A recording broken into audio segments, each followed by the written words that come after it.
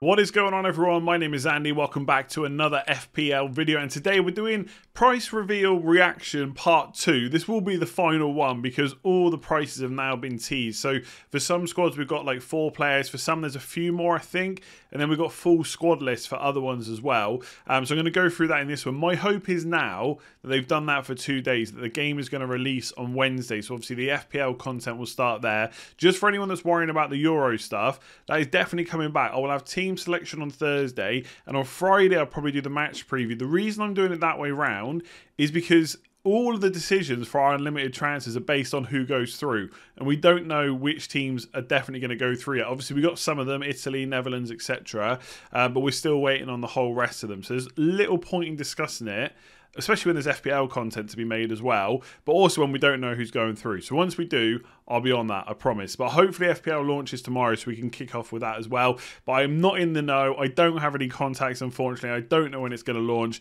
My gut just tells me it's tomorrow because they've done the price reveals. It would make sense, right? Get it released on a Wednesday uh, and job done. So we're going to go through all the prices one by one. I'm just going to talk through kind of my reaction, my thoughts on certain players.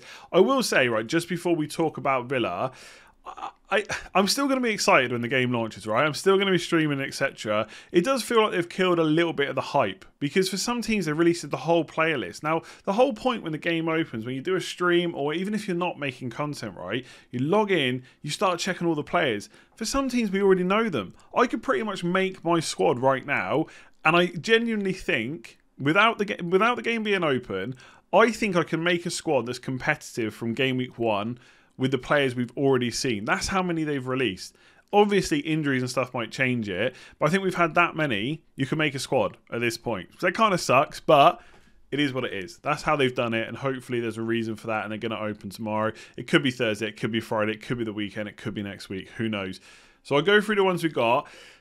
Villa was one of the ones where they released four, and then on the website there was more on the Villa website, but it wasn't all the players. So Buendia is 6.5, so he's 1.5 million cheaper than Jack Grealish. That's not bad. Now, creativity wise, Buendia is decent, right? If you look at chances created, if you go to expected data, I looked at Buendia's last season in the Premier League for Norwich. It wasn't that close to what Grealish was this year, or, or you know last season, but there's a 1.5 million price difference, and now Buendia is playing in a better team as well. So there's a genuine conversation to be had there. Do you go to Grealish, where I think 8 million is a good price, by the way? Um, or do you spend 1.5 million less and go for Buendia? Martinez comes in at 5.5. That was always going to happen. He won't be an option. He'll be an avoid for me now. All the defenders are five. So Mings, Konsa, Cash, Targett, um, and Ashley Young's five as well. They didn't say if he's a defender or a midfielder. I'm assuming he's going to be a defender. Uh, and then you've got Watkins at 7.5. So most of the good strikers from last year, so your Watkins, your Bamford, your Calvert Lewins, etc., they're all over 7.5 or 8. I think they're fair prices, to be completely honest with you. So I don't mind the Villa prices too much. I think there's good players to be had there. And the fixtures for the opening three, maybe even four of the first five, if you include Everton, are pretty good. So Watkins or Grealish could be genuine options, I think, from the get go. One thing I will say as well, we move on to Brentford where we got the full um, team list. It feels as though prices overall are too low. Now, usually what happens when the game launches is everybody panics. All the players they had last year that were cheap, they've gone up in price, therefore they feel like they can't build a team right. It happens every single season. But from what I'm seeing, the prices are probably a little bit too cheap for the players that we know we want. It seems fairly easy to build a squad at the moment. I'll obviously do a first draft video and stuff like that. And things will change. Players will get injured. New players will come in. You know, if Kane moves to Man City, that obviously changes things from two premium midfielders, suddenly you might want one premium mid and one premium forward. So we're two months away. A lot can change, but right now it does doesn't feel too bad to make a squad. There's some players who I think are too highly priced still, though. I don't think everyone's underpriced, which we'll talk about in a minute. But let's talk about Brentford. So Toney, Ivan Toney is someone that every I mean I've look I don't watch the championship I'll be honest with you I still need to do my research on who are good options from the championship teams how they might perform etc that's not what this video is about but Ivan Toney is someone I've heard talked about as an FPL option before Brentford are even confirmed going up. Like if Brentford go up, then Toney's going to be our team. If they win this game and they go up, that he'll be in my team. He's 6.5 million. So they've not priced him like Bamford last year, which was 5.5. They obviously don't want to run into that mistake again. But he is on penalties. Right, which is good. He scored a lot of goals last season. So did Watkins, Bamford to a certain extent, etc. In their se- their last season in the championship. But Toney's just done it, and he's on penalties. He looks like a good price. Another player that came up a lot, and I've seen different comments on him so far, is Mbeumo. I've definitely got that wrong, haven't I? 5.5 million midfielder who has played in a variety of positions, according to a lot of people up front as well. And his goals and assist record so far are really decent for most seasons now. For the last like kind of four or five seasons, he's quite a young player. It's been like over 0.5, which is decent. But uh, then some other people said, but he can also play in other positions like left wing back or whatever it might be. And at that point, you probably don't want him in your team. So it's going to depend where we think he plays. And if he's going to move around a bit, he might not be the option that some people think. But again, if you're watching this, you're a Brentford fan, you're thinking this guy doesn't know what he's talking about. You're correct. I don't know much about Brentford. I will learn over the next two months, and obviously, I will share my knowledge. I speak to Brentford fans, etc. But that's what I've seen, uh, and obviously, as you as you'd imagine, most of the defensive players, etc., are 4.5. I probably won't be going with too many uh, newly promoted sides. I think, to be honest, most of the not necessarily the the top six, etc., but a lot of the you know current Premier League play, uh, teams that have been around for a while have all, all got like a five or a 4.5 million option. So I don't think we're going to have to go to newly promoted sides, but never say never. Chelsea only gave us four players. I mean, Kante, like, who cares? They gave us Højbjerg from Spurs as well. Who cares? Kante's 5 million, brilliant. None of us will ever put him in our teams. Uh, Werner, 9 million. Look, I don't mind that. He's priced on potential still. He didn't have a great season last year, right? By his standards that he came from the Bundesliga. So everyone's writing him off already. And to be honest, with the fixtures they start off with Arsenal, Liverpool, Spurs, City we're not starting with Chelsea players. I think that's fair enough. But Werner, I wouldn't completely write out of your mind as a 9 million option. He could make a mockery of that price if he ever gets back to scoring goals for one, but going back to his kind of Bundes, uh, Bundesliga um, kind of record. It would have been much more interesting for me to see Chilwell and Havertz and Mount because Mendy and Azpilicueta are six million. Fine. If Chilwell's also six million, that's a really good price. If he's six point five, it becomes a bit of a conversation. I still think he's probably worth it, but the fixtures would really have to be there um, to go for him. So Mendy and Azpilicueta are probably a bit expensive when you can get players from like Liverpool, Man United, etc. for slightly higher or slightly lower price, which we'll see in a second. Um, just really quickly, by the way, on Brentford, I don't think their start is that bad. It's not great, but it's not awful. So I don't think someone like Toney for 6.5 is that bad of an option. So that's Brentford, uh, Chelsea. Let's go to Everton. Great fixtures, right? I started with Calvert uh, Calvert Lewin last year. I got a bit mocked for it. I won't lie he started off really well. To be honest, by the time game week one came along, he was owned by quite a few people if anything, he's got a, an easier start this year from what I remember last year because he started with Spurs. If you remember, he scored from a Lucas Digne free kick. I remember it so well. I was watching it. This is the first game of last season, by the way. This is what FPL does to you. Lucas Digne on the left side of the pitch, outside of the box. Obviously, it's a free kick. He crosses it in, bullet header to the top left hand corner from Calvert Lewin, and that just sparked my season off straight away. And I think he scored a hat trick in game week two. So 8 million, I'm considering him again. That's a 1 million price hike, but he needed it, I think. 7.5 or 8, he was always going to be. Such a good start to the season with those fixtures. Lucas Digne, by the way, at 5.5, he's raised eyebrows from everyone because he's had a price decrease. Surprised about that. What I will say is, if you like your stats, your expected goals conceded, etc., Everton were poor last year. They were one of the worst defences. They were easily in the bottom like seven or eight, I think, out of all teams in the league. We'll have to wait and see who comes in and manages them. But 5.5 looks like a bargain with those fixtures. This is what I'm telling you about making a squad already. Calvert-Lewin, Lucas Digne, there you go. They're in. That's two players. Salah, Raphinha, Sanchez, who we spoke about yesterday. I'm already building a squad and the game's not already out. Get the game launched, people. Uh, Richarlison's cheaper than Calvert-Lewin. He absolutely had to be. Maybe even could have gone a million cheaper, to be honest because I don't think many people are going to quibble at paying 0.5 more. Don't rule out uh, James Rodriguez. Right, I'm assuming that's him. Why, do they usually put Hammers in, not Rodriguez? It's got to be, yeah, of course it's him. He's in the picture. Um, is there some guy called James at, at, at Everton? Don't write off that 7 million, right? I know he's injury prone, but he was great at the start of last season. Do you know what the start of the season had in common with, not in common, but you know why? Because he didn't have to play loads of games in a row. It was like one week game, one week game, one week game. So when you get to Christmas and stuff and the games are coming thick and fast, he just couldn't cope with it. So I'm not completely ruling him out because I haven't seen a huge amount of midfielders around his price I think are really, really good options apart from Raphinha. So do not rule out an Everton triple up. I'm serious. Everton triple. Can you believe that? Leicester. Okay. Vardy's had a price increase. He's had a price increase, right? I'm actually going to bring the site up on another screen here just so I can have a quick look. But he didn't um he didn't score as many points this season as last. I don't think. I'm just looking here. Get rid of my water bottle. He scored. Oh, he scored 187. The, the season before it was 210. So he scored less points and his price has gone up. I don't get it. I don't get it. He's one year older. He's, I think he's close to 35, if not already 35. And look, he did really well again last year 15 goals, 14 assists. Now, to be fair, some of that was penalties, but we know he's got penalties. So that doesn't matter. Um, it'll be interesting to see how he starts off. The the start of the season's not awful. Wolves should probably be great instead of green. Um, but Norwich, Burnley are in there as well. It's not the worst start to the season.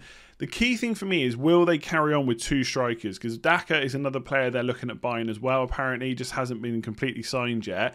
If they do, then Iheanacho for 7.5 is a bargain. An absolute bargain at that price, given his stats and how well he performed versus Jamie Vardy. When Barnes is back, though, if they go to like a, a three so two wingers and a striker, then that that kind of muddies the water a little bit. But given how well they played with the two and how good Iheanacho was, I wonder if Rodgers want to keep that going because look, Vardy's not going to be leading the line for Leicester for too many more years, right? He's just he's just not going to be able to.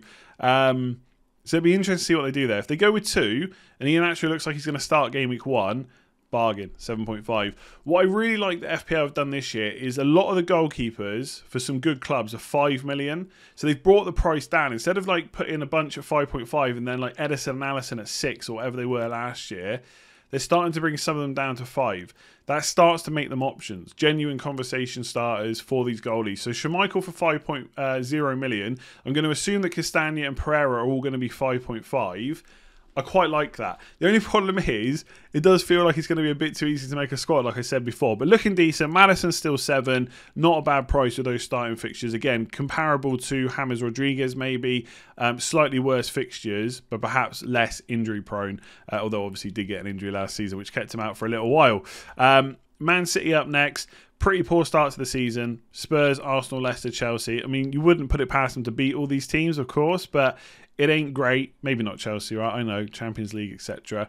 Um, De Bruyne is coming at twelve. I think that's more what he can do rather than what he did last season. Obviously, he had a bit of an injury last year. So in the end, let me just see here. Uh, he scored. He finished on 11.8 million. He scored 141 points. But obviously, the season before he he won. Uh, he got 251. What they what they tend to do with the pricing is they are pricing them as if what if they were fit for the whole season? How would they perform? Right, which I get. So I don't think De Bruyne for 12 million is too bad because he got a lot of injuries last year. He still got 12 assists, six goals. He did underperform his XG, I think, as well. So 141 points, not great. I think they could have brought him down a little bit because I think the season before, yeah, the season before is 11.5. Why did they put him up? That actually makes no sense. I don't get that. You have a much worse season. He only played 800 minutes less and he got seven less goals and nearly half the assists. That that makes no sense now I think about it. This is why I'm doing this reaction live while I record. Yeah, I don't get that. He should have he should have stayed the same. That makes no sense. I mean, 12 million, he can perform like a 12 million player, but he didn't last year. I don't get that. He should have been lower. And I tell you what, Sterling should have been lower before. And I've already discussed this with some people on Twitter. Again, can Sterling go go mad and score loads of points? Of course. For 2017 18, 18 19, and 19 20, he got more than 200 points. Okay. That is a player that should be priced at 11 million plus. But last year, only got 154. We know he's, well, he wasn't first choice towards the end of last season. It was Foden and Mahrez on, on the wings. Um, and I just think if you, if you're pricing Sterling based on potential, Mahrez is nine million. He scored more points per match than uh, I think any other midfielder last year. Let me just again, let me just quickly check for Man City. He was sorry, Mahrez was five point four points per game. De Bruyne was five point six, and Sterling was five. So why why is Mahrez two million less than Sterling? If it's because of minutes, they're not first choice. They're not going to play every game. Well, guess what? Neither Sterling. For me, that price for Sterling's a bit lazy. I think Mahrez is possibly underpriced, and I think Foden will be too. I think Foden comes in at 8.5 or 9 to be close to Mahrez. And I think if they're 2 million less than Sterling, that makes no sense. So I think they've got it wrong with Man City. I don't think De Bruyne should have gone up in price. At least I, I didn't really think much of it when I first saw it, but now I've looked. Not happy about that at all. Dias for six is good. Man City is one of the best defences in the league, comparable with the likes of Azpilicueta at Chelsea. It makes sense. So I like that price. Stones will almost certainly be the same price. I don't think they'd put him at 5.5. We'll have to wait and see. Probably no good because of the fixtures, but don't rule out a City captain for Norwich at home. I'm not happy about those Sterling De Bruyne prices. Um, Man United, we've got the full list. I'm not going to go through everyone, just some standouts. So Bruno Fernandes comes in at 12, same price as um, De Bruyne.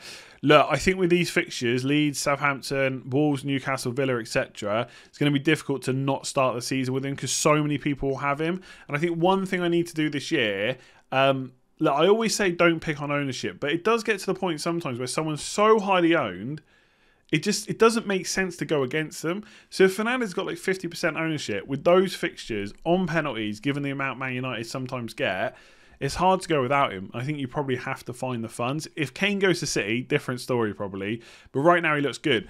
Brave people might go for Rashford, save 2.5 million, and instead of going for like a 5.5 million midfielder, maybe you bump them up to 7 or 8 or whatever it might be. Um, Greenwood's still in at 7.5. He didn't score that many goals, to be fair, last year. He did okay. Um, he's also not completely nailed on still. Cavani's there, so Cavani up front could be Rashford on the right, Pogba on the left. So Greenwood's a minute's worry. Cavani has come in at 8.5, which is decent. I Luke Shaw's 5.5. It feels a bit too low. He should be more expensive than the rest. Like if you got Maguire, Shaw, Wan-Bissaka at 5.5, why would you get anyone that's not Luke Shaw? It makes no sense. He probably should have been 6 million. He's the most attacking out of all of them. Uh, and again, he'll probably be in a lot of people's squads because of that. Again, goalkeepers are down to 5 million. So if we know who's first choice at Henderson and De Gea, like I'm saying, Sanchez, guaranteed goalkeeper at 4.5, but there's now some other goalies at 4.5, which we'll come on to. Um, and you can go up to the like a Schmeichel, De Gea, Henderson, etc. for just 0.5 million more. So you could get a starting goalkeeper for Man United plus a 4 million bench fodder. So for 9 million, you can cover your goalkeepers and have someone from Man United. That's pretty good, especially at the start when you don't necessarily know who the 4.5 million goalkeeper, like decent one, will be. I still think Brighton's fixtures are good enough to go there, but the conversation can be had now. I like that. So I think some prices are incorrect. I think goalkeeper pricing I really like. Um, Newcastle. Wilson, definitely looking at him. Fixtures are looking good for Newcastle. Right now, if Iheanacho was nailed, I think Calvert Lewin, Wilson, and Iheanacho probably look pretty good. Maybe Watkins, but you could go for Buendia or Grealish instead. So I don't know. Maybe it's not as easy as I'm saying. It's easy to build a squad, maybe not easy to pick the right player. Um, Saint-Maximin 6.5, probably wouldn't look at him. Dubravka for 4.5 is good. Again, they've got a good set of fixtures. Okay, can they defend? We'll have to wait and see. But he makes a lot of saves, so I like him. Almiron 5.5, maybe. Fixtures are there, but I think Wilson and Dubravka are genuine options. I quite like them. Uh, I like the fixtures as well, so I'm definitely looking at Newcastle. Southampton, we can brush over this. There's no one of interest, in my opinion. Um, Walker Peters, Vestergaard for 5 million, just not going to go there, I don't think. Defensively, not good enough. Goalkeepers are 4.5. Who's first choice? Fixtures aren't that great. Danny Ings is 8, though.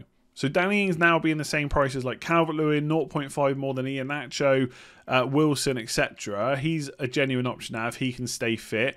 Maybe not for the start of the season. Again, looking at those fixtures, but possibly. I think maybe moving around those players, those front three, two or three, if you go cheap. But When I say cheap, I mean mid price. That could be the way to play.